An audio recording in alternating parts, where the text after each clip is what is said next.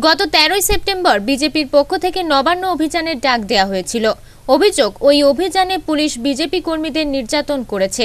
এরই প্রতিবাদে মঙ্গলবার পশ্চিম বর্ধমান জেলার আসানসোল মহকুমা শাসকের দফতরে জেলা বিজেপির যুব মোর্চার পক্ষ থেকে বিক্ষোভ কর্মসূচি করা হয়। যদি কোনো বাধা ওনারা দলদাস হিসাবে দিতে যান আমরা ভারতীয় জনতা যুব মোর্চা হিসাবে তার তীব্র প্রতিবাদ করব। দরকার হলে রাস্তায় নামবো।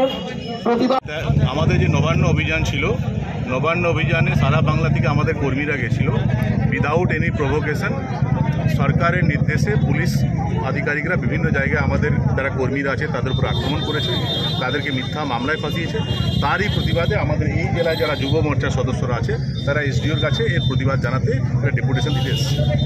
পরে মহকুমা শাসকের কাছে একটি স্মারকলিপি জমা দেওয়া হয়। এই কর্মসূচিতে বিজেপি নেতা জিতেন্দ্র তিয়ারি সহ অন্যান্য দলীয় নেতা ও কর্মীরা উপস্থিত ছিলেন। ঘিরে যে আমাদের শান্তিপূর্ণ মিছিলে পুলিশের যে বর্বরোচিত আক্রমণ, পুলিশরা যারা দেখতে পাওয়া গেছে, ক্যামেরায় যারা ঢিল ছুঁড়েছে, বিনা কারণে ঢিল ছুঁড়েছে বিজেপি কর্মীদের উপর, যেটা পুলিশের এখতিয়ারের বাইরে।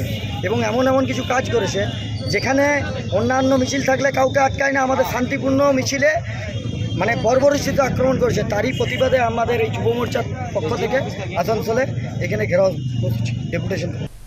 আসানসোল থেকে সৌমিত্র গাঙ্গুলির রিপোর্ট, আনন্দ বার্তা।